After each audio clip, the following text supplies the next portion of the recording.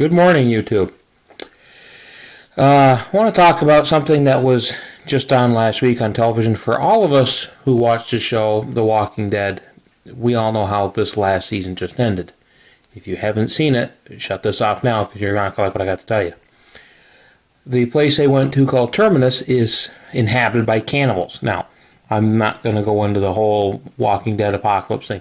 What I am here to talk about is cannibalism as a survival issue. Now, I'm not advocating cannibalism in any way, shape, or form.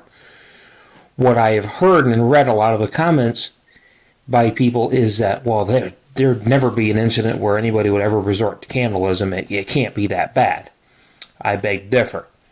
Cannibalism, unfortunately, has been practiced many times in history um, as a survival issue. And why I'm addressing that and saying that is it's possibility. I don't mean that if it's if it's something that you come to it, you should go out and eat your neighbors or even your relatives.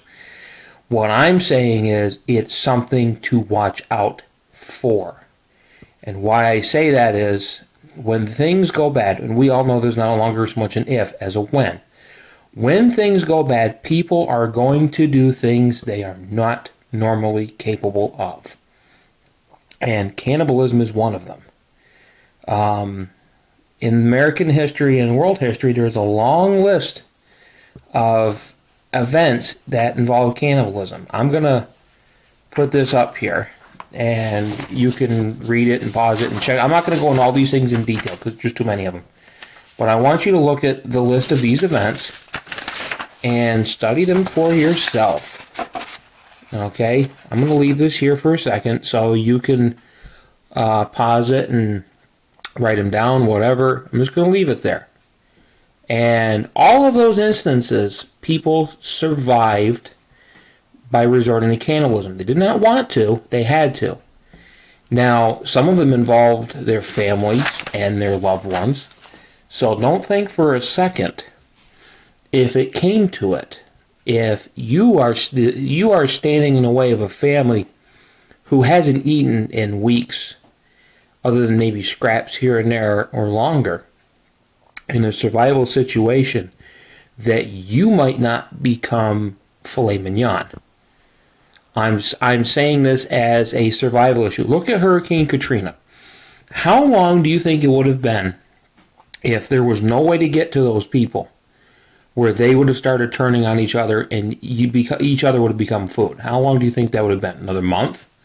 A couple of months? Imagine that on a wider scale. Imagine a catastrophic event where this country either goes dark or parts of this country goes dark and there's no way to reach them it's happened before. The Donner Party was a good example of that. It was a small scale event, but it was where people couldn't get out and rescuers couldn't get in. Think about that. And imagine a large city, American city, going dark, turning to chaos, five or six million people turning inwards on themselves. Eventually, the food's going to run out people are not going to know how to prepare that food. I guarantee you, out of say the six or seven million people, or how many people in New York City now? How many do you think know how to survive on their own? I guarantee you it's a small majority, maybe 10%, if that. Um, there won't be food shelters. There will be, but not for long because they'll get looted.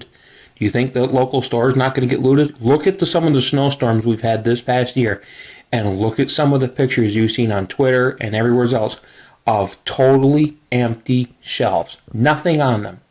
No water, no food, no nothing. That's just one snowstorm. They knew that was going to end. They knew they were going to get plowed out. But people treated that as if it was the end of the world. Imagine if that really happened where those store shelves became empty and they stay that way.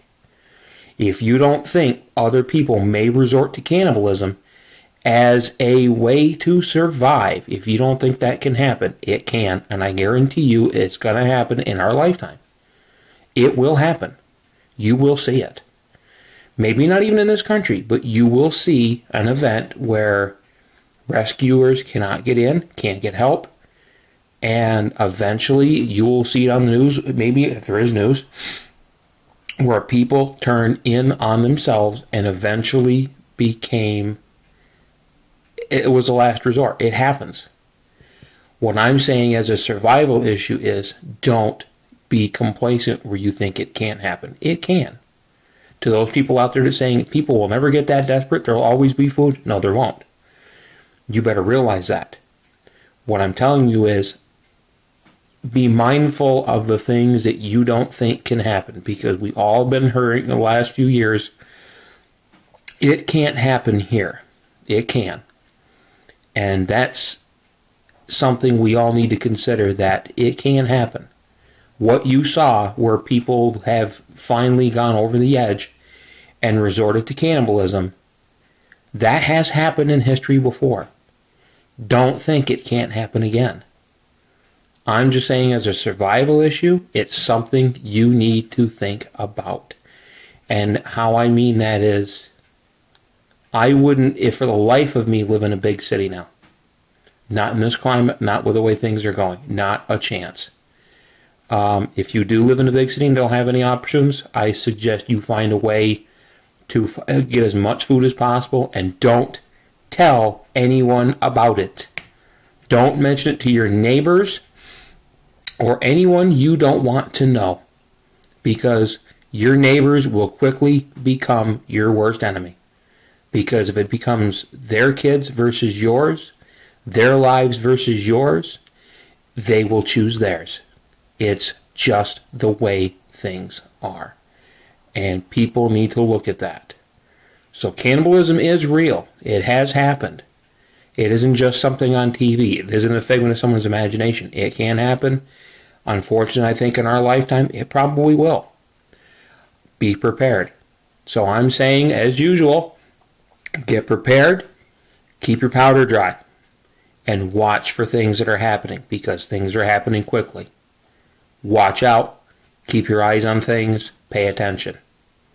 Have a good day, all.